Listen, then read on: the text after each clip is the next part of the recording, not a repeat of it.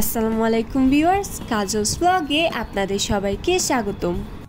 এই গরম তো এই বৃষ্টি। এই ভ্যাবসা গরমে চারিদিকে সবাই অসুস্থ হয়ে পড়ছে। তাই আমরা আজকে কাঁচকলা এবং ইলিশ মাছ দিয়ে একটি দারুণ রেসিপি আপনাদের সাথে শেয়ার করব। প্রথমে আমরা ইলিশ মাছের আঁশ ছাড়িয়ে নিচ্ছি।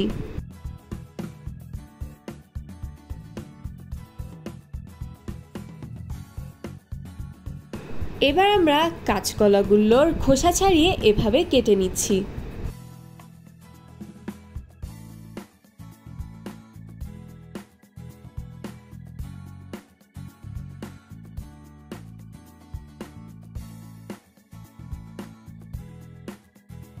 কাঁচকলার টুকরোগুলো হলুদ পানিতে ভিজিয়ে রাখতে হবে, নয়তো কালো হয়ে যাবে।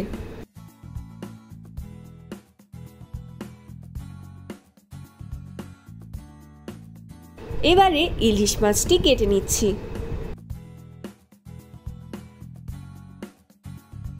সবচেয়ে মজার বিষয় এই যে এই সকল ভিডিওগুলো করেছে আমার ছোট ভাই, যার বয়স কিনা মাত্র তিন বছর।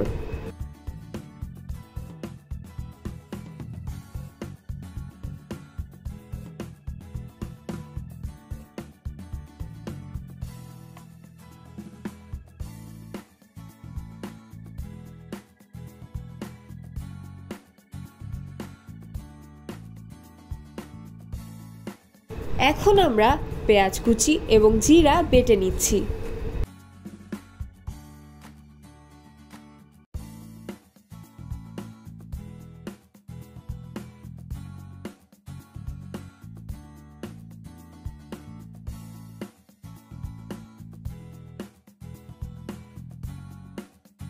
এদিকে একটি প্যানে তেল গরম করে দিয়ে দিচ্ছি পেঁয়াজ কুচি এবং শুকনো মরিচ। ভাজা হয়ে আসলে ছাকের জন্য দিয়ে দিব একটু জিরা। এরপর তুলে বেটে নিব।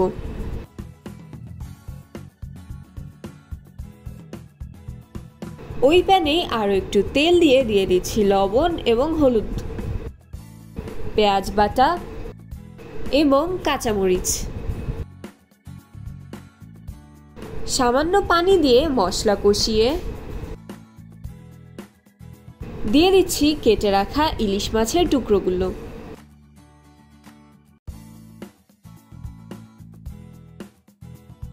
হালকা নেড়ে মাছ উল্টিয়ে কষানো হলে তুলে রাখতে হবে।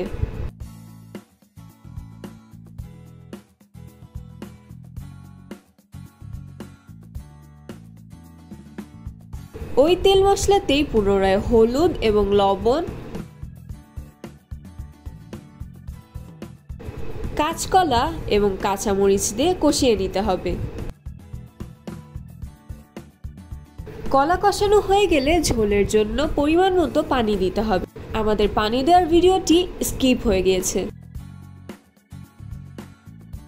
ঝোলে জাল ওঠার কিছুক্ষণ পরে কষিয়ে রাখা মাছের টুকরোগুলো দিয়ে দিতে হবে।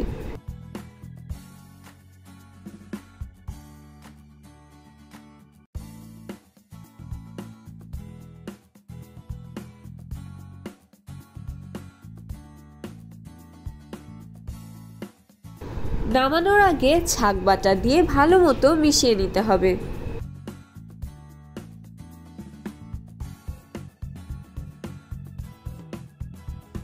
ফুল আছে কিছুক্ষণ ফুটিয়ে নামিয়ে নিলেই তৈরি আমাদের মজাদার রেসিপি।